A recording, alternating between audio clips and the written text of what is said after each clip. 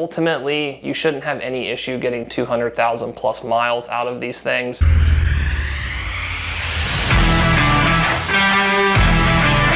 Hey everyone, Jake from 8020 Automotive here. Today we are talking about common problems and reliability issues with Volkswagen's EA211 engine, which is part of the 1.4 TSI engine family. The EA211 has been used by Volkswagen since 2012 and is still used today in a number of vehicles such as the Golf MK7, the Jetta, the Passat, the Audi A3, and a number of other international models. The EA211 is also the predecessor to the EA111, which we've recently done a video on, and fortunately, the EA211 has received a number of significant improvements that have made it more reliable and less maintenance prone than its predecessor. The predominant change from that was switching from a twin charged turbocharger and supercharger setup to just a simple single turbo only setup. That alone was part of the significant increase in reliability and longevity that we get with these engines. It's just a simpler design that is tried and true. With that being said, there are a handful of problems with these engines. Ultimately, you shouldn't have any issue getting 200,000 plus miles out of these things because these problems are less severe and none are really things that can lead to catastrophic engine failure, at least when properly taken care of. So let's go ahead and jump into these problems.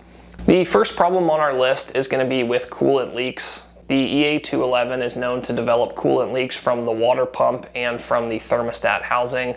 The thermostat housing is integrated into the water pump and it's made of plastic and so under high heat it can go ahead and crack and warp and lead to coolant leaks coming from that thermostat. Volkswagen has upgraded the thermostat design numerous times over the years and so the newer models are going to be slightly more reliable or have less issues with this than the older models but coolant leaks coming from that thermostat housing are still a bit more frequent on these engines. And generally speaking, you can run into leaks from the thermostat housing as early as every 50,000 miles. And so it's definitely a good idea to go ahead and upgrade that thermostat housing to something that isn't the OEM prone to cracking version of it. Second is going to be issues with the turbo wastegate actuator. The wastegate actuator is known to get some play in it and that ultimately leads to what people call wastegate rattle. The wastegate rattle is going to lead to inconsistent boost pressures. You can experience a loss of power and ultimately your turbocharger is not going to be operating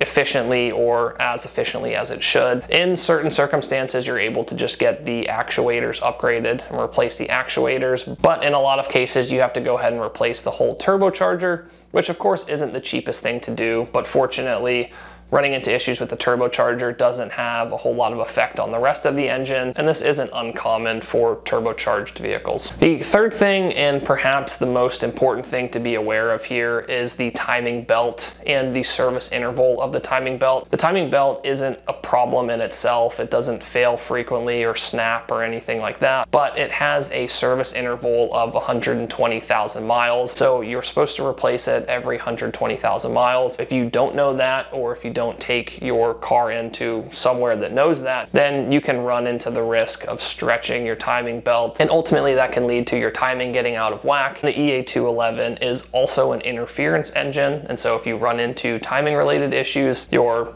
pistons and your valves are going to collide and ultimately take out the whole internal part of your engine. Not something to scare you here because it does lead to catastrophic engine failure. Again, it's not a common problem. It's just something to be aware of that you need to make sure you replace your timing belt when it's supposed to be replaced so that we don't run into any timing related issues. Fourth on our list is going to be excessive oil consumption. This is going to be only for the very early model years of the EA211. There were a handful of engines produced that had excessive oil consumption, which overall isn't really a problem as long as you're not letting oil run too low, which could lead to oil starvation. And then fifth on our list is another common thing that's known as carbon buildup. Carbon buildup is common across any direct injected vehicle. What happens is carbon deposits start to build up along the intake valves and the intake ports. Ultimately, what happens is over time, as those valves get gunked up, we start to let less and less air into the engine. And so you slowly lose performance over time. So every 60 to 80,000 miles, it's a good idea to get your intake ports walnut blasted or cleaned to go ahead and remove all those carbon deposits and make sure your engine's operating at 100%. And that really covers it for our list of problems to discuss on the EA211. This is ultimately a very reliable engine and is a significant improvement over the previous EA111. Out of all the problems on the list, most of them are, I would say, maintenance related issues that come with owning a turbocharged vehicle. Coolant leaks and oil leaks are kind of just a thing, especially on European turbocharged cars. Outside of that, you do run into some issues with the turbocharger, but I would say on any vehicle, turbochargers don't last forever. They do eventually need to be replaced. And so while the actuator issues and the wastegate rattle is a little bit of a concern, it's a maintenance item that you're gonna have to bite the bullet on when you get to higher miles. And there really isn't anything that plagues these engines or any problems with it. Like I mentioned earlier, just make sure you're taking care of your timing belt, stay topped up on oil. Make sure you change your oil every 5,000 miles. And these engines shouldn't have any problem reaching and surpassing the 200,000 mile mark. Anyways, that covers it for our video on the EA211, which is part of Volkswagen's 1.4 TSI engine family. If you guys appreciate this video, please click the like button, subscribe to our channel, and stay tuned for all the future Volkswagen and Audi content we have.